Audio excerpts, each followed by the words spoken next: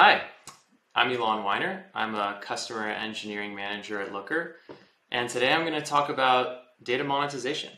So, all of our customers have a lot of data, but sometimes they come to us not knowing the best way to go to market with it. And the objective of this presentation is going to be to cover some proven strategies to monetize and generate revenue from your data. All along the way, I'm going to be covering a couple customer examples to highlight those strategies. So, a study by McKinsey showed that data driven organizations outperform their peers. And they do so by accomplishing higher customer acquisition, more value delivered to their customers, higher retention, and they're often more profitable. In fact, I want to show that even if you're not charging for data, it can help you generate more revenue for your business. So, this is the journey that our customers are on in order to differentiate themselves in their markets. They need to put insights where their customers are, and that could be across multiple platforms, channels, devices, even personas. They often need to build value into their recommendations, which drive action.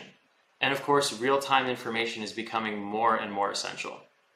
So, all of these are the ingredients that will be part of a recipe that leads to higher value. And it's not necessarily something that needs to be accomplished day one, but you need to make sure that you choose an analytics stack that sets you up to get there.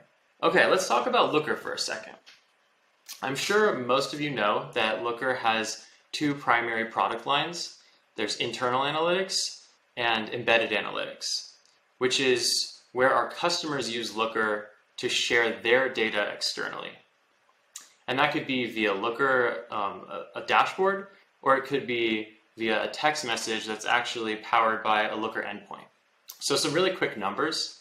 Even though we only started offering embedded analytics in 2016, it now represents 30% of our new use cases and half of our daily active users. Unsurprisingly, it's also our largest use cases, with 3.5 million users alone at Wix. Okay, let's get into the monetization strategies. So I'm going to start off with indirect monetization. And again, what I really want to make clear in this presentation is that you don't have to pass on the cost of analytics to your customers or charge them directly in order to monetize your data. So indirect monetization is a little less like traditional BI. It's very common in the B2B space, and what you'll find is that you're not generating CSVs or data dumps for your customers. It's really about enhancing your core product rather than creating a new product offering. So, a lot of the companies that come to us see charging for analytics as a shortcut to monetization because they want to pass on those costs but you can actually reap the rewards of analytics without charging for them by increasing your acquisition, your conversion, your retention, increasing brand recognition, and most importantly, proof of value. So, here are a couple really well known examples that you're probably familiar with. Dyson, for example, great proof of value with analytics. They build devices that filter air which is a pretty crowded space, but by giving their customers analytics on the quality of that air, they're constantly reminding them that their product works. For all you Spotify users out there, the year in review is a great way for Spotify to remind you of all the different types of music that they introduced you to over the year and give you detailed information about your favorite genres and listening patterns people are competitive in business and in their personal lives. So one of my favorite examples is this Peloton example here, which became really popular during the pandemic as people weren't able to go into gyms or do their group classes. In fact, I'm sure a lot of you are still feeling that pain. So Peloton leverages data to keep their users engaged, to keep goals front and center, to let them know how they compare with others, and to give real time feedback. Another example, actually, from my personal life would be Robinhood. So, this is an app that I have definitely used to buy stock, and simply because they alerted me of a 5% dip in the price. Now, yes, I was probably following that company and interested in investing in it, but it was really the alert at the right time that helped close the gap. And I've even tried to set up alerts like this myself on previous applications. Often they were just too difficult to set up for every single company I was following, or they very quickly became annoying and a nuisance. So that's just another example of putting data in front of users to help them drive decisions that makes the app far more engaging and really helps with user retention. So now I'm going to talk about the other strategy, which is probably more common, especially in the B2B space, which is direct monetization. Direct monetization is a lot easier to conceptualize. This is when you are passing the cost on to your customers and you're actually charging for access to data or data features and creating a separate revenue stream. So it's really common in the B2B space and it's been around for a while. Traditionally, it looked like raw data dumps and that worked for some people, but definitely not for most. There's now an expectation that your offering be engaging and interactive because that allows insights to be available to more people and it reduces a lot of the friction that comes with a raw CSV, for example. A lot of the folks I speak to think that it's all about features and they're important dashboards, filtering, alerting, scheduling but it's definitely not the full story. In fact, the most powerful offering and the one that skews most towards a competitive advantage versus a competitive necessity is going to be packaged insights. Think about the actual data you're providing.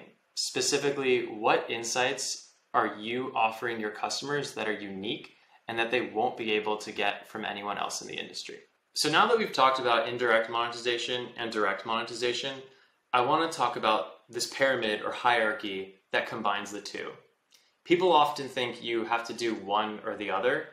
And I would argue that even if your most valued customers are demanding a, a diamond tier experience with custom reports and on premise infrastructure, there's still going to be value in offering analytics to the masses. And likewise, if you're offering free analytics to all of your users, there's going to be a subset of users who are willing to pay more for deeper insights. So I would think about it as a journey versus one or the other. Now, when you're trying to decide how to tier that information out and determine what offerings or what, what analytics belong to each offering, it's often most helpful to think about the insights first. So, things like benchmarking and behavioral analytics are some of the most highly valued reports because they help your customers understand how they compare to their competition or how they can improve. Even within the same data set, there can be different tiers of value. You can give different access to granularities, whether that's monthly, weekly, daily, or you're splitting it up by product and category. Once customers realize value from churn analytics or benchmarking or cohorting, then there's a desire for automation and scheduling so that you can start to bundle features in with those tiers um, not only emailing to different users, but pushing data to different endpoints entirely, like storage or different applications, even SMS. Drilling also becomes important. Why are we losing more customers this month than last month? Which SKUs are most impacted by that? At the diamond tier, being able to create reports for all of your customers isn't really possible. You can't always know what your customers want. So naturally, you want to give them the ability to create their own reports and ask their own questions. So let's talk about that path from indirect to direct monetization a little more. Um, take the example of a cryptocurrency platform like Coinbase. This screenshot shows how KPIs impact engagement. In this case, the user sees that 75% of all trading activity is in the buy direction. And that's a useful piece of information that could drive them to transact on Cardano. In this case, the insight itself, trading activity, is more valuable to Coinbase if they don't charge for it because it's driving transactions, which is their primary revenue source. Now, trading activity as a KPI could be more detailed. What if a customer wanted to understand trading activity by country or between countries, by risk score, or in real time? That's a deeper insight and it might only be available as a paid offering. So exposing the driving factors behind a KPI is likely something that only a subset of sophisticated customers will value and be willing to pay for. Here's some more examples of different ways you can think about tiering out your data offerings. Let's start with the good column. So in this offering, you might have a shorter time horizon. Maybe it's only six to 11 months worth of data. The data is likely aggregated and end users are probably limited to consuming reports versus creating reports. Then as these tiers advance, some of those time horizons expand. So 12 to 23 months or two years plus, users have access to drill into KPIs so they can actually answer follow-up questions. They unlock higher value reports like comparison against peers. In the mid and higher tiers, it's definitely common to give users the ability to create their own metrics and automate scheduling to sources like Dropbox or Google Drive, even Twilio or Slack so that they can take action on that data on other platforms. I want to use the rest of the presentation to cover a couple examples from our customers that highlight both indirect and direct monetization as well as that tiered approach. So let's start by talking about Kounta, which is an Australian POS service, very similar to companies like Square. But they offer much more than devices to process transactions. One of their key differentiators is the data they share back to customers, which is made available in tiers. So in the basic tier, you can download and export reports, you have mobile access, whereas in the advanced tier, shown on this slide, you have real-time access, peer comparisons, benchmarking analytics, staffing and resource planning. Um, you can even build custom dashboards and get product sales insights. Another example with Drizly, which is the largest online marketplace for alcohol delivery in North America, and they were actually acquired by Uber earlier this year, is that they created a new revenue stream by monetizing data for their suppliers. So these are companies who own a portfolio of alcohol brands. And the suppliers leverage this data to better manage distribution, inventory, demand forecasting, Drizly actually used Looker internally first and was able to leverage a lot of these same reports and then distribute them to individual suppliers. So it's definitely a, a direct monetization strategy, and the insights are cataloged by theme. So there's sales, compete, trends, and then within each theme, there's multiple reports, which are sorted by monetary value and attributed to the appropriate tier. So for example, offline sales and market share is a report that's only going to be available to the Platinum SKU. The last example I want to cover is Wix, which is a low-code, no-code website builder. And one of their key differentiators is premium analytics on the traffic, video, and e-commerce data collected from their website. They're at 3.5 million analytics users today, but they plan to scale to 80 different personas and 100 million users generating an average of 5,000 queries per minute. The challenge that they faced initially was rapid go to market and enormous scale. So the solution to that was embedding Looker dashboards to get a product out really fast, and that would support 100 million users, and then supplementing the out of the box dashboards with Looker's API for more custom experiences.